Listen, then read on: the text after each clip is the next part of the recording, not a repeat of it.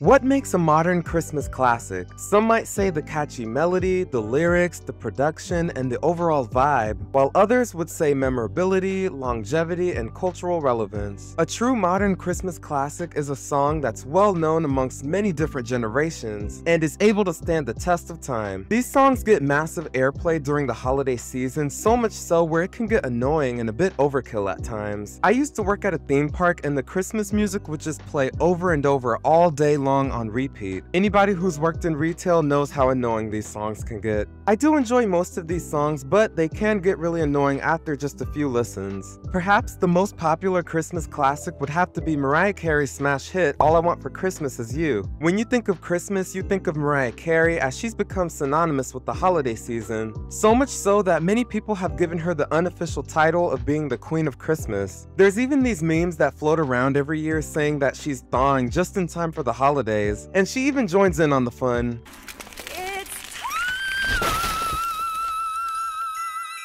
She's just the gift that keeps giving. Not only was she able to secure this title, but the song would end up being one of the highest selling singles of all time. The song is so popular that it has returned to the number one spot on the charts every year since 2019, which is just crazy. That just shows how popular the song is around Christmas time. So why is she considered the Queen of Christmas? To see why she was given that title in the first place, we have to go all the way back to the year 1994.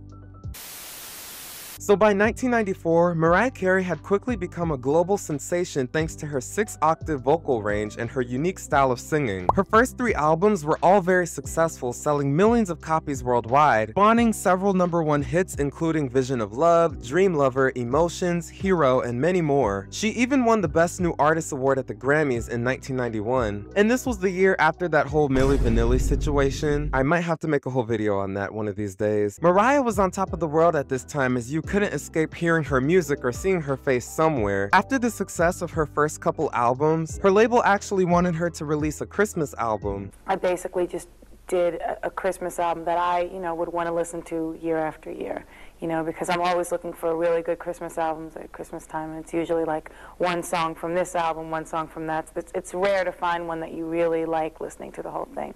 So, um, you know, I tried to do that on this album, you know, do something that would stand the test of time, but, you know. It was rare for artists to release holiday music so early in their career, especially back in the 90s. But the heads at Columbia saw things differently, I guess, aka they wanted more money. On November 4th, 1994, Mariah would go on to release her fourth studio album, Merry Christmas, which became another massive success for her. It was one of the highest selling albums of that year and quickly became the highest selling holiday slash Christmas album of all time, selling 15 million copies worldwide. The album incorporates different genres including dance, pop, and gospel. Some of the songs on the album were covers like Santa Claus is Coming to Town, which was actually from Jackson 5, and Oh Holy Night, while others were originals. Speaking of originals, the most popular song that everyone knows is her infamous All I Want for Christmas Is You.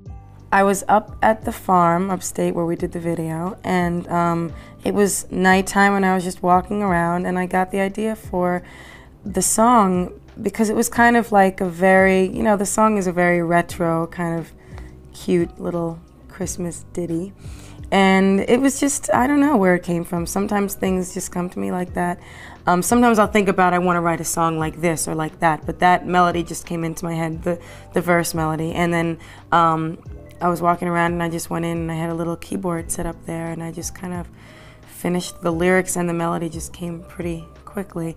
And then when I, you know, when I was finishing it, I, I would walk downstairs and look at all the Christmas type things and say, okay, what reminds me of Christmas? I need more Christmas words here. I need more uh, references, Christmas references. All I Want for Christmas Is You was a Mariah original written and produced by herself and her co-writer Walter. I don't know how to say his last name, but his name is Walter. This is her most successful single in her career and it's one of the highest selling singles of all time. Many people see it as a holiday tradition and standard, while others find it irritating as it surges in popularity every holiday season. As annoying and overplayed as the song is, I actually really enjoy it. All I Want for Christmas is a classic holiday song that just gives gets me in such a good mood every time I hear it. The song is upbeat, bubbly, joyful, catchy, and just a lot of fun. Everything from Mariah's angelic voice, to the harmonies, to the chimes, and even the intro are just so great. Like honestly, I think this has to be one of the most iconic song intros of all time. The song being so upbeat and fun makes it stand out from other Christmas songs over the years. I never noticed this until recently when re-listening to a lot of holiday songs, that many of them are actually really depressing and slow paced. I think the song, being so upbeat and joyful, played a major factor into its overall appeal and marketability. I think that's why so many people like the song so much because it's just so dancey and upbeat. Lyrically, the song describes a lover who doesn't care about having material things but having their significant other as a Christmas gift instead. I know the song is pretty cheesy, but simple and effective and to the point. Mariah says The that the song is very is very retro, kind of traditional, old-fashioned Christmas. It's very retro, ditty. kind of 60s. And These are her words, not mine. Since the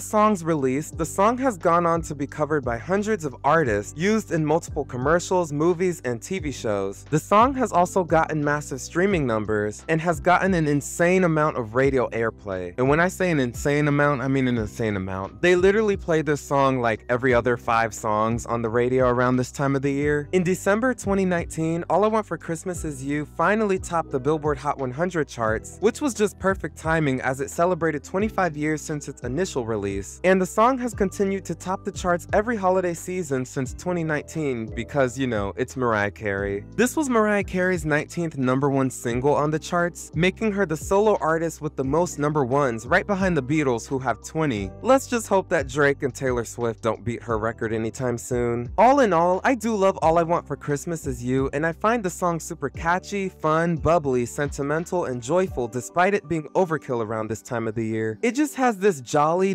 nostalgic, warm, wholesome feel to it, making it one of the best Christmas songs ever written. I just wish some of the other songs from the album got more attention, like maybe her rendition of Oh Holy Night, or maybe even Miss You Most at Christmas Time. Those songs slap. Even though the song came out nearly 30 years ago, it still sounds so fresh and modern. Mariah Carey will always be the standard when it comes to holiday music. She was able to make a hit record that stands the test of time and be able to have major crossover appeal. And that's why I believe that she is the ultimate queen of Christmas.